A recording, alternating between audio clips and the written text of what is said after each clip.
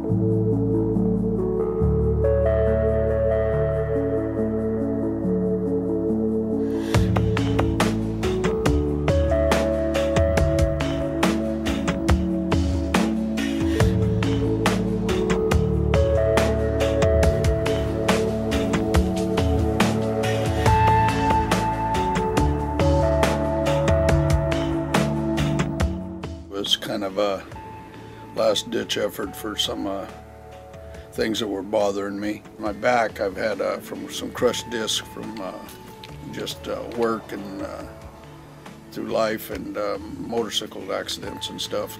I've had a pain there for 25 plus years that ran from one side of my back all the way across, about the size of my fist and then across. And I noticed that uh, went away basically.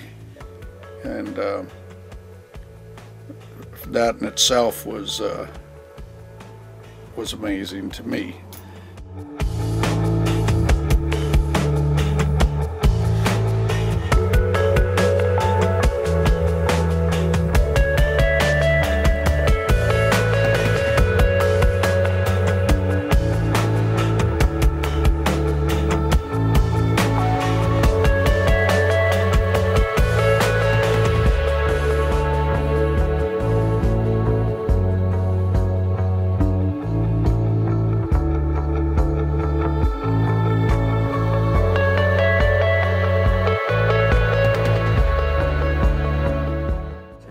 It wasn't for the sliding scale that fit my budget, it would be impossible to take the number of treatments that would allow me to get better.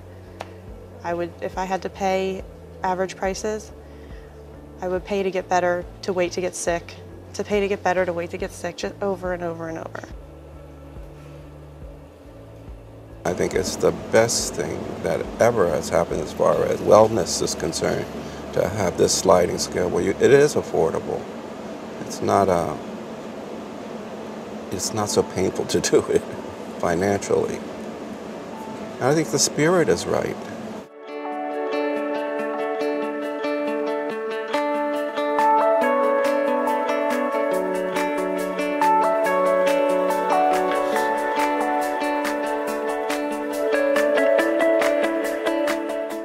I really didn't think it would work at all.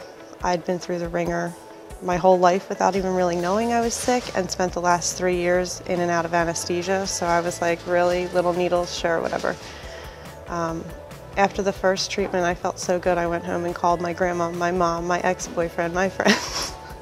I couldn't even sleep. I was ecstatic.